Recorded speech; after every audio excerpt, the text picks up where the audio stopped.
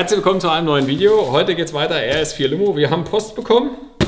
Debilas. Freut mich auch wirklich mittlerweile, dass wir mit der Firma so viel zusammen machen. Wir waren ja mehrfach da. Ist für mich einfach ein Familienbetrieb, der nach wie vor Tuning betreibt, wie ja, was wirklich selten geworden ist. Ich sage nur Essen Motorshow, die Vitrinen mit den ganzen gegossenen Teilen drin, die verschiedenen Ansaugkits und so weiter. Egal, auf jeden Fall, die Firma kann viel, viel mehr, als man eigentlich denkt. Und wir gehen immer tiefer in das Thema Nockenwellen ein. Wir hatten ja gerade noch ein paar Nockenwellen für Oma Golf bauen lassen. Ganz zarte Dinger mit 304 Grad. Das war, glaube ich, das krasseste, was die jemals für ein VR gebaut haben. Ich hätte gerne noch mehr, ging aber nicht. Das war wirklich das Maximum, was aus ihren Rohlingen rauszuholen war. Hat brutal funktioniert. Wir haben leider noch keine Leistung gemessen, aber ich denke mal 317 km/h mit Frontantrieb braucht man nicht mehr zu sagen. So, jetzt sind die Wellen für Limo da. Sollten eigentlich vor der S-Motorshow schon da sein, deswegen konnten wir sie nicht mal einbauen. Ist aber nicht schlimm, ich habe gerne gewartet, weil auch hier wollte ich wirklich ein krasses Profil haben, was auf die Wellen einfach sonst gar nicht drauf ging. Bevor ich das jetzt auspacke, wollte ich euch allerdings einmal noch mal den Stand hier zeigen. Ich habe es jetzt mit Absicht noch nicht zerlegt. Ähm, ich finde aber die Version der Videos geil, dass wir eine Seite immer bauen und die andere Seite im nächsten Video zeigen, weil wir so einfach schneller vorankommen, weil wir können einfach nicht dauerhaft filmen, weil Krach, Lärm, Ohrschoner, Maske ist einfach in Summe dann doch so, dass wenn man vorankommen will, man eine Seite lieber in Ruhe baut. Aber beide Seiten sind jetzt fertig. Ansaugung und Ansaugung. Ist wirklich nur hier, guck dir mal, wie dieses Rohr hier drin hängt. Ist für mich einfach nur pornös.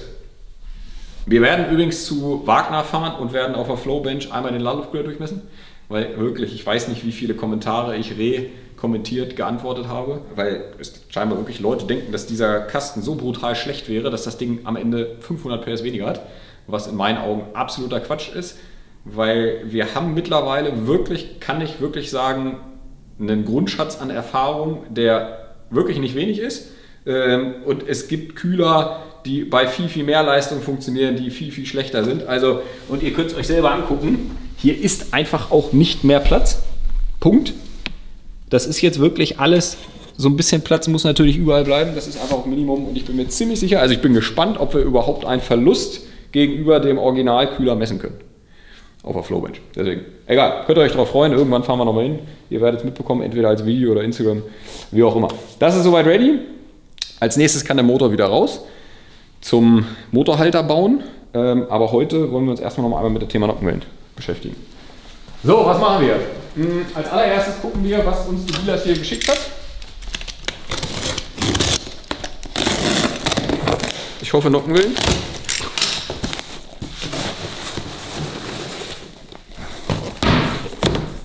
Unboxing. Machen wir eigentlich relativ selten, ehrlich gesagt. Viele machen das ja viel, viel mehr. Wir machen das recht selten. Okay, das ist genau das gleiche, wie ich hier auch habe. Der Name, der draufsteht, ist angenehm. Die Kess Edition. Ach so, ja. Das Witzige ist, die Dealers haut die Sachen wirklich so in Online-Shop rein. Also jeder, der Bock auf diese Nockenwellen hat, kann die sich tatsächlich im Online-Shop kaufen. Auch die Oma-Wellen und so weiter.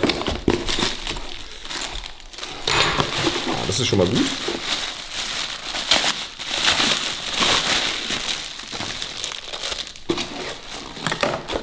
stand hier jetzt gerade drauf, was das ist. Nur auslassen. Jetzt haben wir hier so einen schönen Tisch. Heute tatsächlich mal aufgeräumt für euch. Nockenwelle Nummer 1. Ja, man muss auch sagen, in Sachen Qualität hat sich da definitiv auch wieder was getan, weil das sieht schon gut aus. Also das ist definitiv kein, keine ungeschliffene Originalwelle, sondern das ist komplett ein eigener Rohling, den sie umarbeiten. Hier für mich perfekt. Eine Sache ist nämlich, aber dafür packe ich erst mal eine andere Welle aus.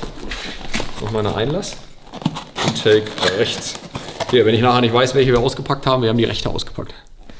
Ich werde es spätestens beim Einmessen sehen, aber dann muss ich ja nicht unnötig viel arbeiten. Original haben diese Wellen bei dem Fahrzeug beide ein verpresstes Rad. So, das heißt, man kann Einlass zu Auslass gar nicht einstellen. So, hier kommt das Rad drauf. Auf der Auslasswelle sitzt das Rad mit dem Zahnriemen. Da hat Guido mir wieder ein geiles verstellbares Rad gedreht. Das muss ich einmal kurz holen, das muss ich einfach zeigen. So, an der Stelle vielen Dank an Guido. Für mich eines der besten Dreher Deutschlands. Verstellbare Nockenwellenräder. Gebaut aus einem Originalrad, weil gibt es eigentlich nicht zu kaufen. Das heißt Originalrad, Originalrad und dazwischen quasi passend mit, vorhin guckt euch das mal an. Man merkt es schon beim Verstellen, wie geil das läuft. Ähm, dazwischen diesen Alu-Einsatz, Alu ganz wichtig, ne? soll nicht zu schwer werden, äh, zum Verstellen. Jetzt sagt man sich, warum verstellen? Bei dem Motor ist es ja so, das Ding sitzt ja auf dem Konus drauf. Das heißt, ich kann es ja eigentlich verstellen, wie ich will. Ja, jeder, der dieses Rad von dem Konus schon mal gelöst hat im Abzieher, weiß, wie es in dem Moment knallt. Das heißt, es verstellt sich alles und ihr könnt es gar nicht so genau einstellen. Deswegen, ich erkläre euch jetzt erstmal den Aufbau. Bei meinem Auto wird es so sein. Erste einstellbare Sache, die nicht original ist, ist die Auslasswelle auf der Nockenwelle. Die Auslasswelle auf der Nockenwelle. Die, der Zahnriemen auf der Auslasswelle ist schon mal einstellbar. Das heißt, hierüber können wir später im Auto die Auslasswelle einstellen. Normalerweise ist hier aber auch ein gepresstes Rad drauf. Das heißt, in Kombination mit der Auslasswelle verdrehen wir über die Kette die Einlasswelle mit. Genau aus diesem Grund ist jetzt auf der Auslasswelle ein verstellbares Kettenrad drauf. Das hat Debilas hier so gebaut. Das heißt, wir können anschließend die kleinen Schräubchen losmachen und die Einlasswelle verstellen. Dafür sind auch diese schönen Sechskant hier dran auf der Auslasswelle. Ähm, damit man, okay, ich habe es nicht ganz richtig gesagt, wir können natürlich auch die Einlasswelle da stehen lassen, wo sie ist und verstellen die Auslasswelle. Am Ende können wir auf jeden Fall Auslasswelle verstellen, Einlasswelle verstellen und dann kommt noch der Punkt dazu, hier zwischen ist der Versteller, der die Einlasswelle, das ist nicht ein Versteller, der stufenlos ist, sondern der kann die Einlasswelle nur 22,5 Grad nach früh ziehen. Das heißt, wir verdrehen die ganze Nockenwelle. So, da sind wir bei einem entscheidenden Punkt. VR6 hat eine Nockenwelle für Einlass und Auslass. Das heißt, beim VR6 ist es so, das ist Einlass, das ist Auslass. Der Bereich zwischen Einlass und Auslass, es ist ja im OT so, Auslass geht zu, Einlass geht auf. Diese Überschneidung ist die sogenannte Spreizung bei den Nockenwellen, was wirklich eine, eine, wichtige Größe ist, weil die Spreizung der Nockenwellen, die Überschneidung gibt die ganze Charakteristik von dem eigentlichen Motor vor, weil die Spreizung gibt somit vor, wie weit die Ventile im OT offen oder zu sind. Und ihr könnt euch natürlich vorstellen, gerade bei einem Turbomotor habt ihr viel Überschneidung, pfeift der ganze Ladedruck einfach durch. Das heißt, Einlassventil geht auf, wenn in dem Moment der Auslass noch ein bisschen offen ist, du aber auf dem Einlassventil 3 Bar hast, könnt ihr euch vorstellen, was mit den 3 Bar passiert. Ähm, deswegen ist das so eine Größe, die gefährlich ist. Deswegen war es auch so schwer beim VR die perfekten Wellen zu finden, weil du es beim VR einfach nicht einstellen kannst. Bei Limo ist es folgendermaßen, wenn ich weniger oder mehr Überschneidung im OT haben will, kann ich einfach dieses Rad verdrehen, Auslassseite. Das heißt, ich kann die beiden Einlasswellen zueinander verstellen und kann, wenn ich Bock habe, einfach sagen, beide Ventile zu im Auslass, äh, im OT. Kann aber auch beide aufstellen. Bin da komplett frei von der Einstellmöglichkeit. Deswegen haben wir zum Glück in der Vergangenheit über dieses Auto schon so viel gelernt, dass wir es beim VR gar nicht mehr verstellen mussten. Hätten wir auch nicht können, weil wir können nicht die Nockenwelle durchschneiden und neu zusammenschweißen. Hä? Das heißt, das hat zum Glück beim ersten Mal echt gut getroffen. In dem Fall wird es deutlich einfacher, weil wir können es einfach einstellen. Macht es natürlich auch wieder komplizierter, weil wer viel einstellt, kann auch viel verstellen. Wie sagt man, wie sagt man so schön, wer viel misst, misst viel Mist. Ähm, deswegen, das ist halt immer auch gefährlich, aber wir tasten uns da stückchenweise an. So viel zur Theorie. Das heißt, wir wollen heute klären, erster Punkt, Hub. Wir waren ja auf der Flowbench Mitte des Jahres bei NG und haben mit Renke zusammen die Köpfe durchgemessen und haben dabei festgestellt, was die perfekten Hübe für der, den Kopf ist. Und genau so haben wir den Kopf jetzt gebaut. Das heißt, wir sind auf ein Ergebnis gekommen von, wir machen auch kein Geheimnis draus, weil kann man eh später kaufen. Wir haben einlassseitig 292 Grad, auslassseitig 296 Grad. Das hat jetzt gerade nichts mit der Flowbench zu tun. Aber Einlassventil 10,7 mm Hub, Auslassventil 12,0 mm Hub.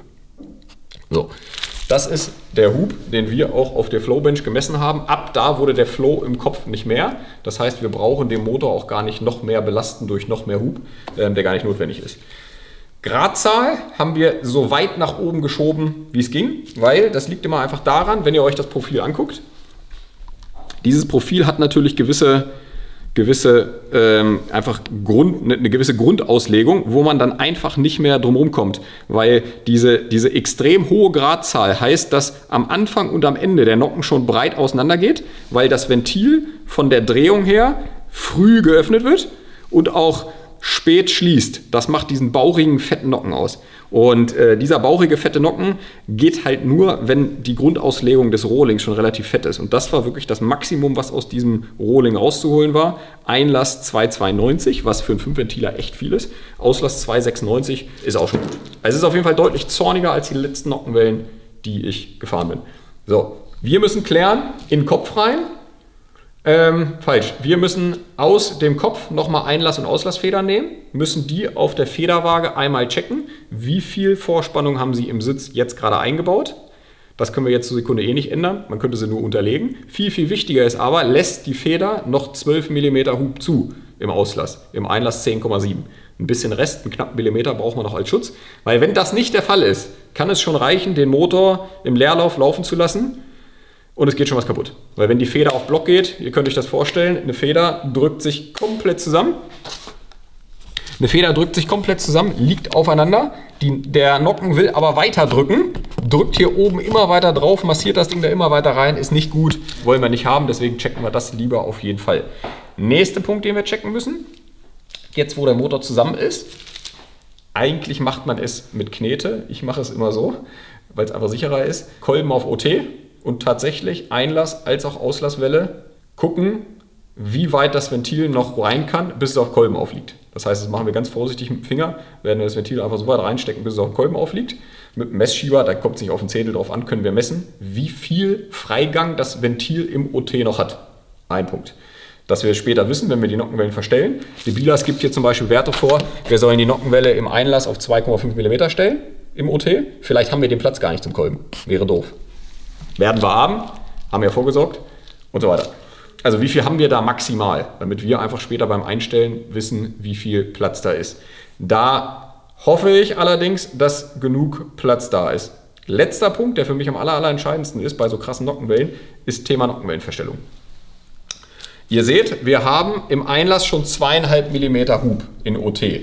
So, jetzt kommt der Punkt im mittleren Drehzahlbereich, wo wir diese diese Durchspülung, die ich gerade schon erklärt habe, das heißt, der Einlass öffnet, bevor der Auslass überhaupt ganz zu ist. Man will das ganze Gemisch aus dem Motor rausspülen. Da geht die Einlasswelle in die Frühstellung. Das heißt, der Spanner zieht die Einlasswelle 22,5 Grad nach vorne. Das heißt, das Einlassventil ist in dem Moment nicht zweieinhalb Millimeter auf, sondern die Welle dreht sich 22,5 Grad und in dem Moment seht ihr, wird, weil die Welle hier schon ganz schön krass wird, wird das Ventil eher ja, 5, 6, 7 mm aufstehen.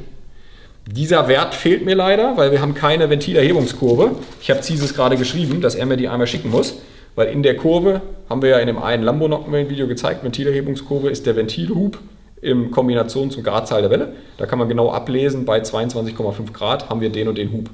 Das müssen wir klären, weil sonst passiert folgendes. Leerlauf ist immer Leistungsstellung, da passiert erstmal nichts. Ich gebe einmal Gas, der Spanner zieht in die Frühstellung, es macht Klung und Motor dreht einfach aus und ist aus, weil dann sind nämlich alle Ventile krumm, einlassseitig. Den Punkt müssen wir auch klären, wie viel Platz da ist. Das ist nur eine Schätzung, weil ich kann natürlich nicht passend dazu, also falsch, ich verstelle die Nockenwelle ähm, 22 nach früh. Jetzt kann es passieren, dass es im OT passt. Die Nockenwelle dreht sich in dem Moment weiter und die Kurwelle dreht sich weiter. Und das Ganze ist aber nicht symmetrisch zueinander. Das heißt, es kann sein, 5 Grad nach OT ist der Kolben immer noch im OT, weil jeder, der den Motor schon mal durchgedreht hat, weiß, merkt, dass der Kolben relativ lange im OT stehen bleibt im Verhältnis. Also er fährt ganz schnell hoch, bleibt oben stehen und fährt dann ganz schnell wieder runter. Ähm, da kann es natürlich sein, dass 5 oder 10 Grad nach OT auf einmal das äh, Einlassventil weiter aufgeht, weil wenn sich die Nockenwelle weiter dreht, wird der Hub immer mehr. Und an der Stelle kann es passieren, dass es dann eine Kollision gibt. Das können wir aber anhand des Freigangs im OT schon ungefähr, also wenn wir wissen, wir haben im OT 7 mm, dann kann man in die Ventilerhebungskurve reingehen und kann gucken, wo die Nockenwelle 7 mm Hub hat. Und dann können wir sagen, ja, das passt oder das passt nicht. Am Ende können wir immer noch den Versteller einmal in Frühstellung machen und den Motor einmal durchdrehen. mache ich eh am Ende, aber ich würde es halt gerne jetzt so zusammenbauen, dass es halt funktioniert. Ja, dann kommt das Spiel mechanische Tassen, brauchen wir nicht erklären, haben wir etliche Male gemacht. Das heißt, wir haben keine Hydros mehr, sondern eine Tasse mit Ventilspiel. Das bei diesem Motor einzustellen, ihr könnt es euch vorstellen, ist die absolute Vollhülle, weil man muss dieses ganze Nockenwellenpaket mit Kette, mit Versteller rausnehmen. Das werden wir auch nicht filmen, weil das ist eine Arbeit, da fluche ich, da sitze ich stundenlang drin. Da brauchen wir auf jeden Fall Musik. Das muss am Ende alles passen. Ähm, das mache ich lieber alleine. Aber der Punkt, zu klären, ob wir diese Nockenwellen überhaupt verbauen können, das würde ich gerne mit euch zusammen machen. Das machen wir heute. Ja, ich würde sagen, ich baue als erstes mal alles ab, dass wir daran können. Warte auf den Rückruf von Caesars mit der Ventilerhebungskurve und dann geht's weiter. Aber sonst so optisch, muss ich schon sagen, gefällt mir. Das kann schon was. Und sieht halt auch schon echt nicht mehr nach Spaß aus. Hier sieht man übrigens immer schön, das kann ich euch noch kurz zeigen. Die drei Einlassnocken sind nicht nebeneinander. Nein, das ist nicht eine Fehlproduktion, sondern das liegt daran, dass wenn ihr in den Brennraum guckt, sieht man auch, wir können es einblenden, dass die drei Ventile nicht den gleichen Winkel haben, sondern ein Ventil in der Mitte logischerweise einen spitzeren Winkel hat und deswegen auch einen anderen Zeitpunkt, also nicht einen anderen Zeitpunkt nicht, äh, einen anderen Winkel vom Nocken halt einfach braucht, weil das Ventil einfach anders steht. Ja, okay, ich bin gespannt. Also das Video kann leider so enden, dass, ähm, ja, ja, nee, das Video kann leider nur so enden, dass ich Nockenwellen nicht einbauen kann. Weil ich werde nicht den Motor nochmal anpassen auf die Nockenwellen. Weil wir haben schon Taschen in den Kolben drin, in weiser Voraussicht. Ich hoffe, dass diese Taschen tief genug sind. Jetzt sind die Wellen allerdings wirklich so krass, dass diese Taschen vielleicht sogar tiefer müssten, aber ich glaube, es geht. Allerdings, der Punkt Nockenwellen wird wirklich unterschätzt beim Thema Turbo. Als Beispiel, um euch mal eine Referenz zu geben, ein VR6, der meinetwegen 600 PS hat. Der braucht mit Seriennockenwellen für die 600 PS, ich sag jetzt mal 2 Bar. Machst du in genau den gleichen Motor jetzt die krassesten Nockenwellen rein, die es gibt, fällt der Ladedruck von 2 Bar, ich sage realistisch, auf 1,5. Also einen halben Bar wird der Ladedruck abfallen für die gleiche Leistung. Einfach nur, weil der Motor auf Leistung so viel besser durchspült. Also die, die, die Füllung ist so viel höher, dass einfach der Lader gar nicht diesen Druck mehr aufbaut, weil die Luft nicht vor dem Einlassventil steht, sondern in dem Brennraum drin ist. So, jetzt haben wir es. Und dadurch geht der Ladedruck da runter. Ja, okay, jetzt zerlegen wir es und dann messen wir es mal durch. Stopp. Ein allerersten Check. Was könnt ihr an der Nockenwelle selber messen? Es gibt eine Sache, die kann man an Nockenwellen selber messen, das ist der Ventilhub, beziehungsweise eigentlich ist der Nockenhub. Ihr nehmt euch einfach einen Messschieber, das machen wir jetzt auch, den nullen wir erstmal einmal. Jetzt gehen wir an den Grundkreis das ist die Fläche, wo kein Hub da ist. Nullen das Ganze einmal. Mal ein bisschen hin und her drehen und gucken, dass ihr den tiefsten, tiefsten Wert findet.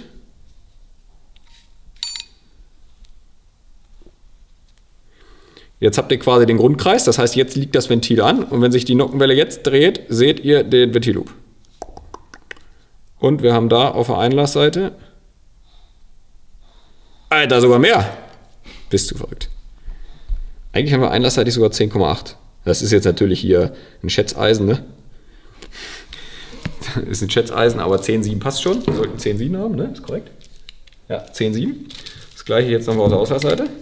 Da würde es mich nicht wundern, wenn der Grundkreis auf der Auslassseite jetzt ein anderer ist. Einfach deswegen, weil damit man diesen Nocken schleift, also man schleift den Nocken, indem man den Grundkreis verändert. Dadurch kriegt man quasi diesen Hub hin. Ja, sag ich ja. Die Nockenwelle hat im Grundkreis ein Zehntel mehr. Jetzt nullen wir das Ganze wieder.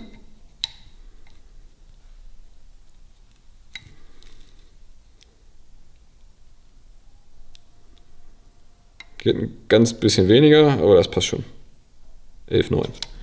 Und da gibt es wirklich Nockenwellen, die ich bekomme, die sollen 12,0 haben, also von anderen Herstellern, und haben am Ende 11,5 oder so. Ne?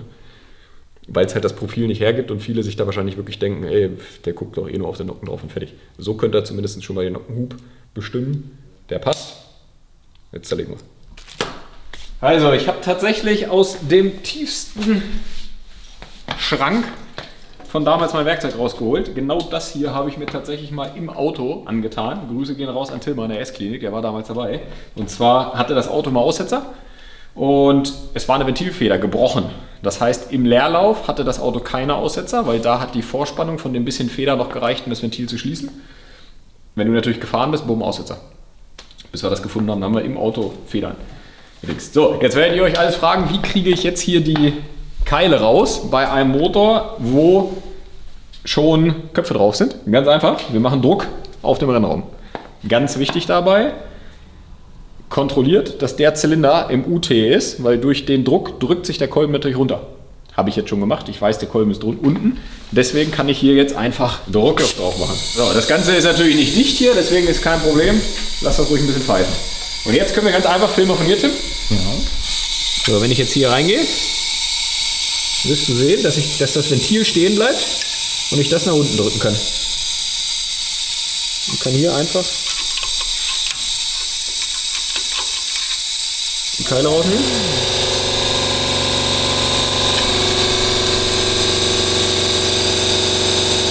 Zack, da ist unser Ventil. So, jetzt kann ich euch nur empfehlen, damit wir gleich keine Angst haben brauchen, dass das Ventil reinfällt, drücken wir hier einfach einen Silikonschlauch drauf. Alter Sahara-Trick. Damit kann ich jetzt nämlich Ventil auf und zu machen. Ich würde jetzt gerne noch ein Ventil daneben auch machen, weil ich bin mir nicht sicher, welches von den drei Ventilen am wenigsten Platz zum Kolben hat. Das heißt, ich würde in dem Fall schon gerne drei machen. Dann sind wir da auf jeden Fall safe. Krass ist immer bei dem 5-Ventiler, das geht relativ einfach, weil wirklich die Federn echt schwach sind auf dem 5-Ventiler. Guck mal, krass ist, wie dass der, dass der Druck im Brennraum reicht, um das Ventil zuzuhalten, ne? weil das ist ja kein, kein 6er Loch. Das Ventil hat aber 6 mm und das reicht, äh, dass ich den da draufstecken kann. So, jetzt machen wir einmal Auslass. Auslass ist zum Glück ein bisschen mehr Platz. Das ist ein bisschen entspannter.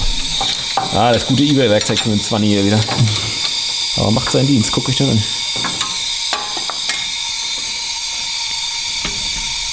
Boah. Auslassseitig schon deutlich mehr Saft drauf. Hier sehen wir schon die Doppelfedern, die drin sind. So, das war jetzt erstmal der unangenehmere Teil. Und jetzt könnt ihr nämlich sehen,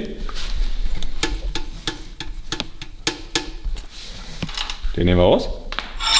Den nehmen wir raus. Jetzt kommt der Kollege rein.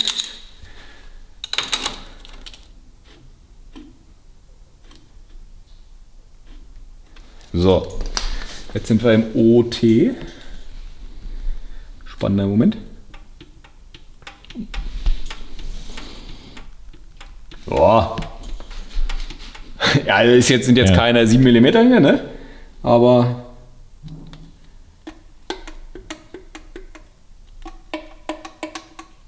Geil ist, wie man hier das Ventil hört. Keine Angst, da passiert wirklich nichts, wenn ich jetzt mit dem Ventil leicht auf den Kolben komme. Das ist nicht das Problem. So, jetzt ist das Geile, der Kolben kann jetzt gerade ja nicht weg. Das heißt, ich kann die Dinger hier wegziehen und kann mich jetzt ausspinnen. Also, jetzt hole ich mal einen Messschieber. So, jetzt messen wir im OT. Das aus, das Ventil. Jetzt gerade. Okay, aber es ist doch viel, viel mehr, als man denkt. Also auslassseitig haben wir knappe 5 mm Platz. Ich mache nochmal eine Kontrollmessung. Ja, krass.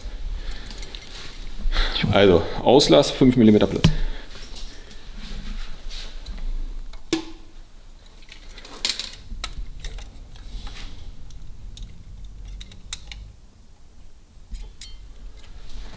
Messung Nummer 1, 6,5. Ah, 6,8. Mehr ist es definitiv nicht. Ja, sag ich, und das mittlere hat nämlich weniger. 6,2. Das ist übrigens wirklich die beste Methode, wie man das Ganze messen kann. Also egal wie viel Theorie man mit einem zerlegten Kopf und so weiter misst, so hat man, also noch besser ist natürlich Knete und nochmal zerlegen. Ja, 6 mm. Knete dazwischen, Ventil runterdrücken, ausbauen, Dicke der Knete messen. Ist natürlich noch besser, aber so, ja. Also, wir haben im OT 6 mm Einlass. Jetzt ist das Problem, dieses hat mir geschrieben, 22,5 Grad haben wir vorher 5,8 mm. Das heißt, diese Nocken gehen so krass auf, dass das wirklich Aua werden könnte, wenn ich die in eine Frühstellung.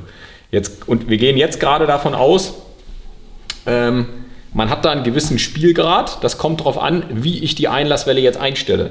Wenn ich die Frühverstellung nutzen will, muss ich sie also im OT auf später stellen, was theoretisch die Leistungsstellung ist. Wir wollen ja Leistung. Das heißt, sie ist quasi im OT eher sogar noch geschlossen und noch gar nicht auf. Und wenn ich sie dann in früh ziehe, hat sie natürlich weniger Hub, als wenn ich sie im OT schon früher stelle und noch früher ziehe. Weil früher heißt früher aufgehend, das heißt früher mehr Hub. Ähm, das heißt, wir sind auf jeden Fall schon mal eine Erkenntnis weiter und ich muss da auf jeden Fall nochmal ganz genau jetzt in den Erhebungskurve gucken, wie weit wir gehen können. Und dann kommt noch das Problem, das Ganze kann 5 Grad nach OT wieder nochmal schlimmer aus sein. Dass die, weil wenn ich jetzt ganz bisschen weiter drehe, geht das Ventil definitiv deutlich weiter auf, aber der Kolben bleibt da noch stehen. Das heißt, wir müssen es auf jeden Fall durchdrehen. Sonst gibt es noch die Variante, wenn ich der Meinung bin, ich möchte das Ventil eher als Beispiel in einer Position wie mit 3 mm Hub im OT fahren, dann kann ich von den ersten 1.8T Modellen einfach nur einen Spanner einbauen, ohne einen Versteller. Was ich persönlich gar nicht für so dumm halte, weil jeder Versteller hat das Problem, wie der schon Name sagt, Versteller, der verstellt sich über Öldruck, dass der bei 8.000, 9.000 Umdrehungen niemals die Position halten wird. Da kann es passieren, dass der halt, jetzt ist die Frage, brauche ich im mittleren Bereich dieses Ansprechverhalten oder fahre ich den Motor einfach ohne Verstellung so wie er ist? Das kann ich mir noch überlegen. Natürlich weniger Risiko, ist einfach nur in den Spanner reinmachen, ohne Verstellung und einfach erstmal so fahren. Punkt 1, den haben wir schon mal erklärt. Das wird riskant. Auslassseite kein Problem. Einlassseite müsste man von der Theorie her drei Taschen reinmachen, was nicht so einfach ist, weil man müsste jetzt wiederum markieren, wo das Ventil auf den Kolben kommt und da eine Tasche reinmachen. Was wir jetzt natürlich nicht tun werden, weil der Motor ist zusammen und der soll einfach nur laufen. Das war eine Sache. Jetzt geht es um Thema Federvorspannung und was hubmäßig geht. Dafür machen wir jetzt folgendes. Wir fangen, würde ich sagen, mit der Auslassseite an und müssen einmal messen den Überstand hier, damit wir das gleich runterrechnen können. Da brauche ich einen Zettel und Stift einmal kurz. So, damit, damit wir jetzt bestimmen können, wie die Federvorspannung ist, müssen wir die Einbaulage der Feder wissen. Das heißt, wir müssen wissen, wie weit ist diese Feder gerade vorgespannt. So, das ist natürlich so jetzt schwierig zu messen. Ähm, deswegen machen wir folgendes. Das ist unser Ventil. Hier ist der Teller. Übertrieben gesagt. Jetzt konnte ich gerade diese Höhe hier messen. Das sind schon mal 3,4 mm. So. Das gucke ich jetzt nochmal. Auf ein Zehntel Millimeter kommt es am Ende eh nicht an. 3,5. Jetzt können wir ausgebaut schön entspannt messen den Federteller. 1,8. Und jetzt messen wir Auflagefläche Feder und Ventil, wie es oben raus steht, also übertrieben gesagt so, und können runterrechnen, wie viel Einbaulänge die Feder hat. Dafür müssen wir das Ventil wieder ganz nach oben ziehen. 38,8 haben wir von hier nach hier. So, das heißt, hieraus resultiert jetzt, die Einbaulänge der Feder ist 38,8 minus 3,5 minus 1,8. Also minus das und das und das, dann haben wir diese Länge. Und das sind somit äh, 37 und für 3,5 34,5 Millimeter auf Außenseite. Das gleiche machen wir jetzt auf der Einlassseite und dann sehen wir uns am Tisch.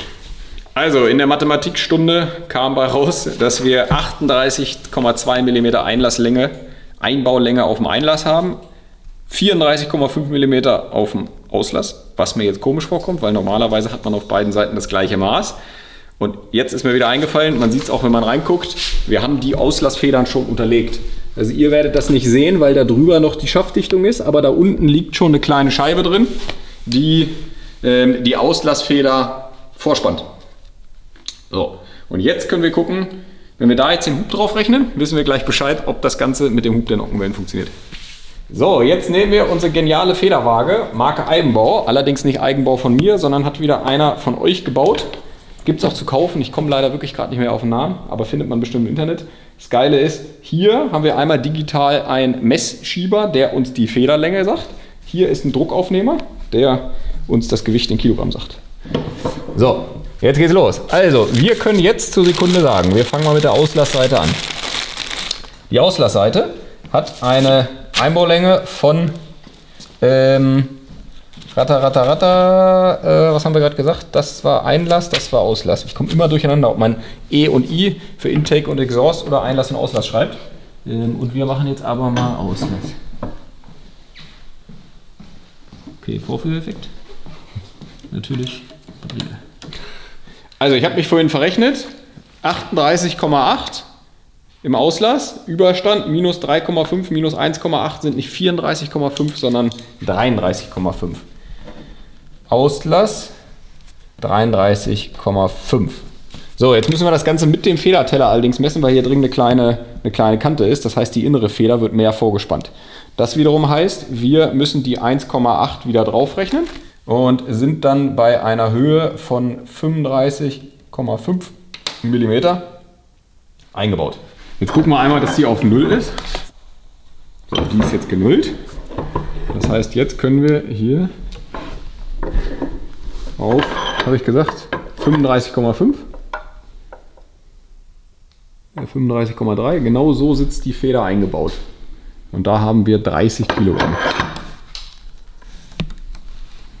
Das ist nicht so viel. Das ist die Zahl, die für mich eigentlich am entscheidendsten ist, weil wenn das Auslassventil aufsteht, interessiert, interessiert uns eigentlich relativ wenig die Kraft, die da in dem Moment hinter ist, außer wir bauen einen Hochdrehzahlmotor. Da ist dann die Kraft entscheidend, die das Ventil wieder zurückzieht. Bei uns ist aber die Sache, wir wollen keine Aussetzer durch ein offenstehendes Auslassventil und das passiert halt eher, wenn das Ventil im Sitz ist, wenn es geschlossen ist, wir aber im Krümmer 3, 4 Bar Gegendruck haben. Dieser Gegendruck drückt das Ventil dann gegen diese Kraft im Sitz von 30 Kilo auf. So, jetzt haben wir 20 mm Hub. Das heißt, wir müssen das Ganze auf 35, äh, auf 23,3 bei 12 mm Hub.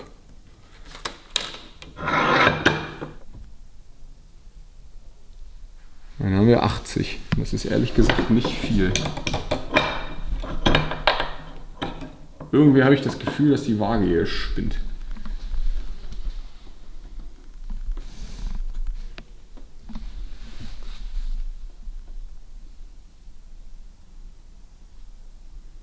Okay, das ist ziemlich wenig. Jetzt das Entscheidende, wann geht die Feder auf Block? Auf Block heißt, dass zwischen den Windungen kein Platz mehr ist. Hier. Bei 17,8. Okay Leute, das zeigt mir, wir verschenken hier ziemlich viel Potenzial. Maximalhub ist die Feder bei 23,3.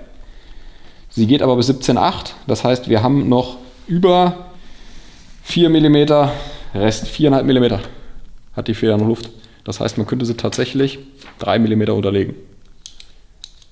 4 mm, was viel ist. Ah, scheiße, ich sehe schon wieder die Kacke da ausbauen.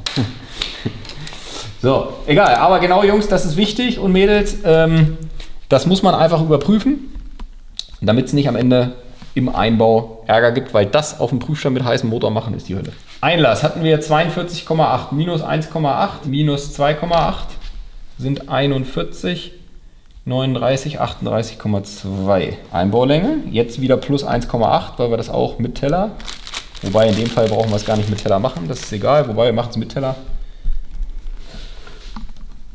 Kann man einfacher rechnen, sind nämlich genau 40.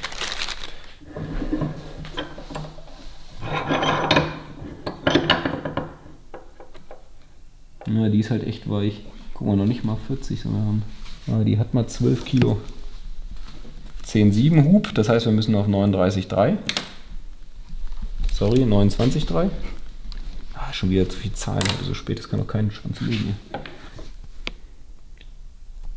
Da sind wir bei 31,5. So, bei 9, ich schreibe es nochmal, 29,3. Jetzt gucken wir mal, was hier ein Hub kann.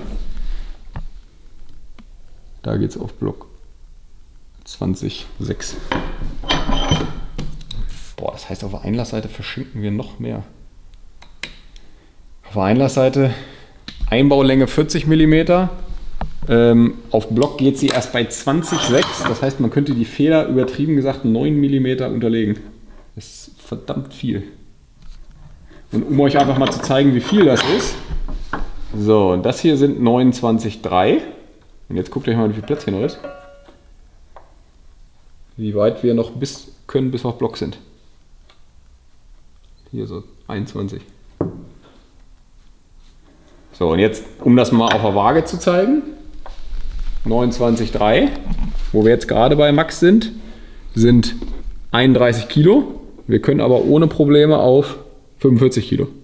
So, das macht aber noch mehr Unterschied, macht es eigentlich in der, in der Einbaulänge, weil im Ruhezustand haben wir jetzt gerade 12. Wir könnten aber 8 mm unterlegen. Das heißt, der Ruhezustand wäre bei 32. Das heißt, wir hätten 27 statt 12 Kilogramm. Das ist überall das Doppelte im Sitz. Und genauso ist auf der Auslassseite auch. Auslassseite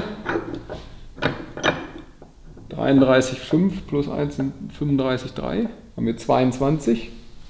Leute, ich kann euch nicht sagen, was mit dieser Waage ist. Sie zeigt immer was anderes an. Also wir nehmen keine Garantie auf die Kilogrammzahlen, die hier rauskommt. Das muss ich leider nochmal in Ruhe überprüfen. Das tut mir leid. Dafür ist es zu unterschiedlich. Aber man sieht auf jeden Fall, dass wir, ja guck, jetzt sind wir so noch bei 27. Und hier könnten wir ja 4,5 mm mehr.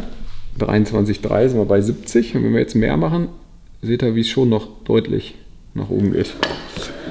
Okay, also ähm, zusammenfassend. Das war scheiße.